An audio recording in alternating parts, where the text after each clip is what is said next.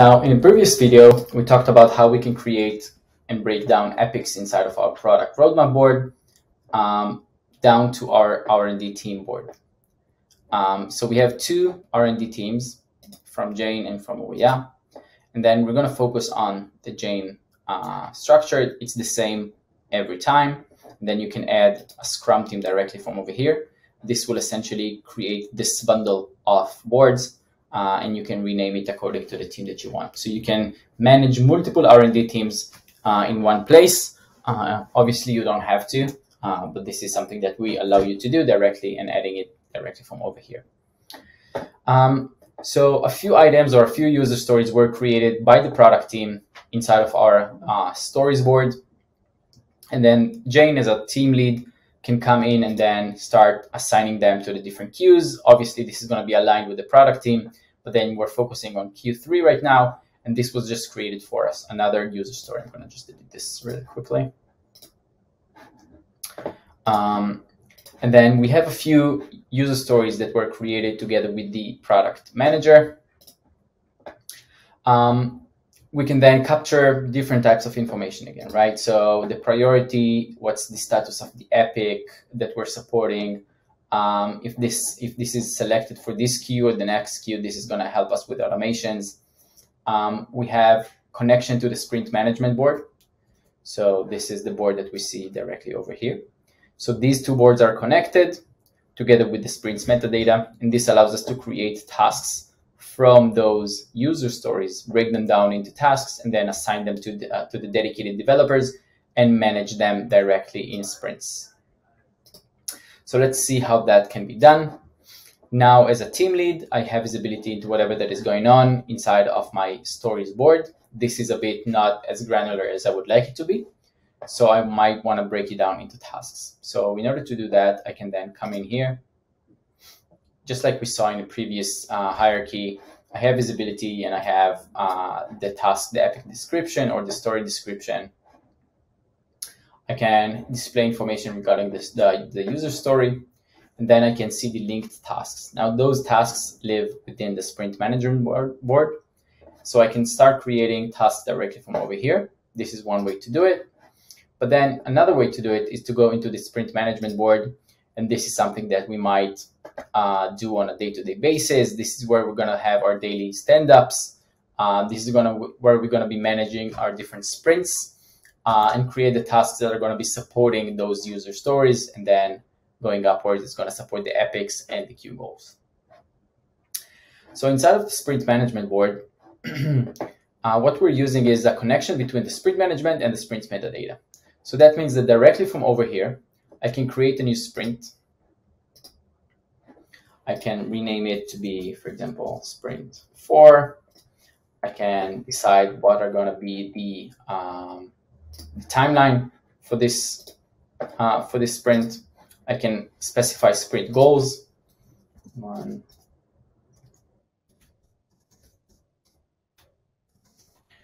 so on. Create a new sprint, and this will do two things. First of all, it's going to create a new group for me directly over here on this board, which is going to be called Sprint 4. And then it's going to create a dedicated item, which is called Sprint 4, together with all the other items that already exist. So all the sprints together with the backlog on the Sprint metadata board. So the Sprint 4 was just created together with the Sprint goals, and all these are already created um, when I first logged in. I can see which sprint is active, which ones are completed. And again, obviously the backlog isn't relevant. And then this is just for us to keep some track of what's going on behind the scenes. Uh, but what we're actually using is the sprint management board itself. So directly from over here, I can complete a sprint. I can see which sprint is active, what's the timeline for it, I can then completely complete it. I'll be notified that it happened, perfect and then I can start my new sprint directly from over here. Just to give you some visibility in what's going on behind the scenes, this is now active, this is completed, sprint number three. If we go back to sprint metadata, we can see that sprint number three is now completed and not active anymore, and sprint four is active right now. Um, when you go back to our sprint management board, we'll be able to see that we're capturing different types of information again, right? So we have the item, the task name, we have the specific owner, the developer for it. Uh, we see what's the status for it, right? So whether it is ready to start, done, these can be labels that you can create for your own. This is pending deploy, next sprint, this is stuck, and so on and so forth. What domain is this coming from? If this is relevant, you can estimate effort. So it doesn't have to be story points. Obviously, this can be all. This can also be hours very easily. So it doesn't have to be story points necessarily. So you can uh, capture the estimated story points versus the actual story points. So you can see in a second on a dashboard um, if you are on track, if you are missing your estimations, and so on. Priority, obviously, dependencies, as we talked about them. What is the linked story? So the stories, again, they live in a different board. We're connecting those boards, allowing us to support pulling and pushing information from one board into the other. So we can see which story we're supporting using this uh, specific task. What type of task is this? Is this a bug, feature, a quality one, a test one, and so on and so forth. We can also capture if this is a design task, if this is a QA task, so it doesn't have to be developers tasks. Uh, what what's the due date when well when maybe if we're working in sprints this night might not be relevant so we can completely remove it if we want if this was unplanned, right? So sometimes we're getting new requests for our specific sprint that might not be planned. So we can add them directly over here. They'll be connected to the sprint itself. And then we can mark them as unplanned. So we can also keep track of how many unplanned stories and tasks we have during a sprint and see if we need to push back on a few and what's the capacity for unplanned tasks uh, for the future. Um, yeah, so this is one way to visualize all these. Another way would be, and I'm going to quickly remove um, this new sprint to be able to see um, some of the information that we have used in the dashboards. So we have our current sprint, which is active. It's currently running. Uh, we want to have a daily stand-up to see the tasks that are maybe not done yet, right? So we've created a bunch of different views. So we have a dedicated view for daily stand-up. This is something that is going to be aggregating all the relevant active sprint tasks and show them with a short legend telling you how are you doing uh, versus how you would like to be during the sprint. So we're almost 30% done. We have some tasks that are stuck. If I want to see exactly which one they are, all I have to do is click into it. I have a complete list into the tasks that are in a stuck status. Then I can communicate with the owner, ask them what's going on, if they need any help, or maybe if this is on a stand up, they say, no, I'm good, I'm done. I can change this to be done directly from over here and it will be updated as well. Um, we can also capture what are the planned story points for any type of effort for this sprint, how many unplanned story points we have, and how many are done already. We can also see the uncompleted tasks. So this is again the same view, just filtered, not to show us all the all the tasks that are in a done status. So we can open this up in the morning, go over this with the team, see who the owner is, what's the status, what do they need more. If there's anything to change over here, we can change it directly over here. If you want to have visibility into what's going on in the task itself, we'll see how we can click into this one and see everything that is going on together with any code changes that happened on GitHub as well. Um, other types of views is the active sprints board uh, view that allows us to see only the active sprint without all the other noise of backlog and other sprints that may have ended.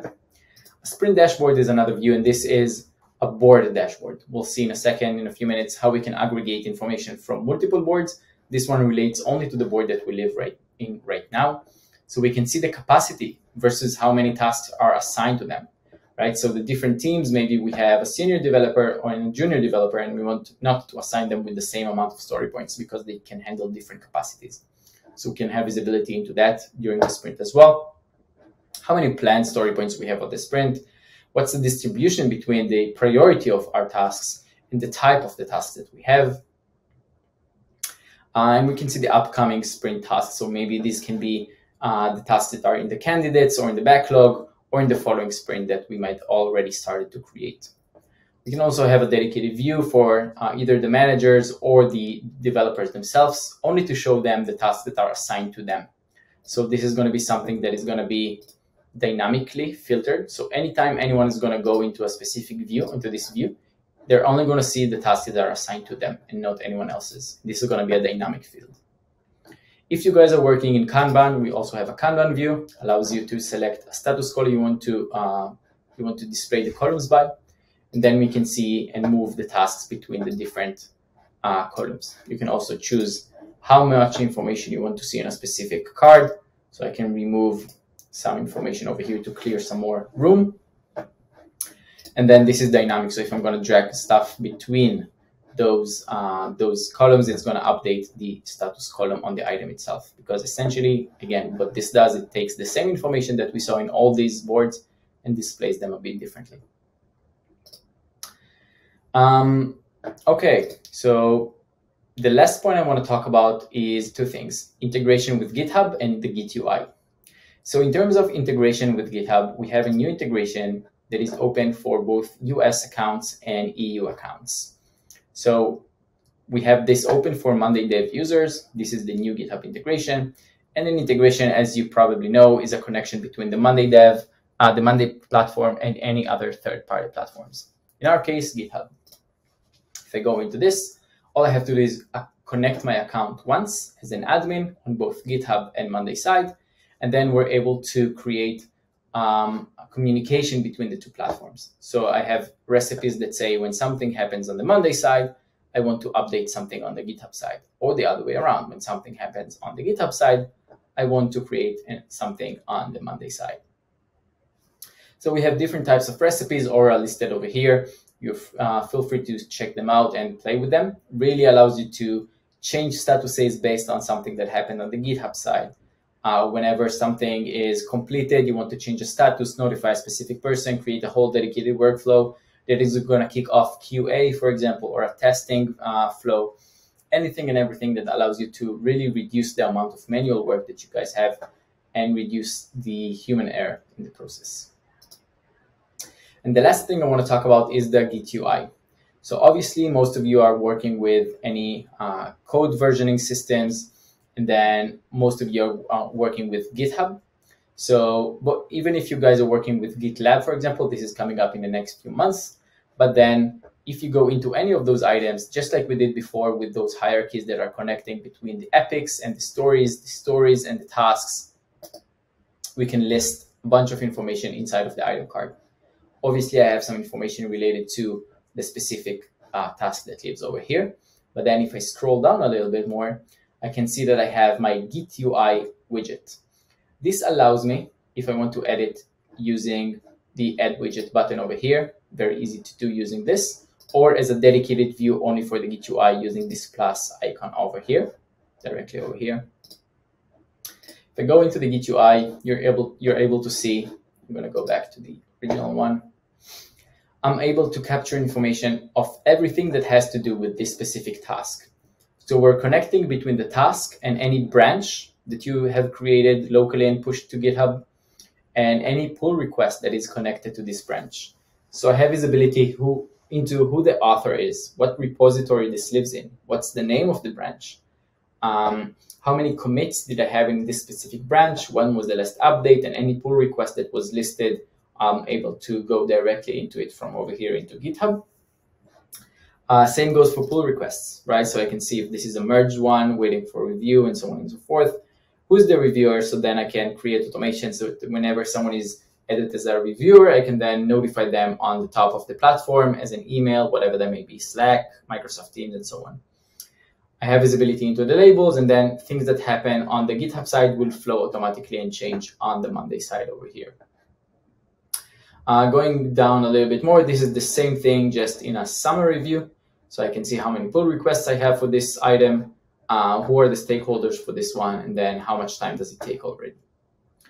Um, so this is the Git UI, very, very popular and starting to get a lot of attention from our different customers. I really highly encourage you to check it out and see how much value it can add to your team. So this is, in a few minutes, covering sprint management and the connectivity between the story, uh, the user stories, the sprint management board, and how we manage the backend on a metadata board. We have visibility into different types of uh, dashboards, allowing us to slice and dice the information. And then the last thing I want to talk about before we move on to the next video is how we can aggregate information from two different developer teams, right? So we have Team Jane and Team Uriah. In order to aggregate information from both of those teams, we, we've created a dashboard, which is a standalone dashboard that lives in, within here. If I go into here, we can see that I can capture and add up to 60 different boards, uh, depending on the tier, obviously. But then the boards that you are connecting are listed over here. You can decide how many boards you want to aggregate information from. Not all the widgets that we're going to see aggregate from all those boards. Obviously, you can decide based on the widget what information you want to pull from which board. You can obviously add boards at any time that you want. then I can start adding widgets. So these are widgets that we can add from the store. These are the more popular ones. All the tires that you see over here is the widgets. And then we can customize them based on our will. So things that we can capture over here are information regarding the different sprints. And this can come from the Team Uriah and also Team Jane or any other team that you might want we can see the progress in each sprint. So the current sprint, we can see how close we are to be done. If we have any bottlenecks, we're able to uh, address them. This is really good for team leads, for group leads, uh, anyone who wants visibility into what's going on. This is really great for product teams as well. Product managers can have visibility into the current sprint. If we're on time, we need to add some more uh, uh tasks. We're not on time and we need to reduce some tasks and put them to the next sprint maybe. We can capture bugs and we're going to touch on that in a second um, and see how much time does it take us to complete a task or to resolve a task. If we have any incidents trend, we can capture this here. And then obviously you can add as many widgets as you want. So using the settings, I can decide which boards I want to capture information from. So it doesn't have to be all of those boards in the same time. I can decide what's the chart type that I want to display, what's going to be the x-axis, the y-axis. So I have visibility into all of the items that lives, all the columns that lives in each board um, and other types of settings that I can add to each of those widgets. Really depends on the type of the widgets and the number of boards you're pulling information from. So I can see if uh, the estimated story points versus the actual story points ongoing on a sprint basis uh, allows me to plan better going forward. This is something that you can then export, share, print, uh, send notifications to different stakeholders to maybe come in once a week or once a day to see how are we doing in the sprint or any other type of workflow that you're managing. Um, in the next video, I'm going to touch on the last points that I want to talk about. So these would be the bugs queue, retrospectives, and then we're going to wrap it up and uh, talk about how we can uh, streamline all that process using and add templates to them.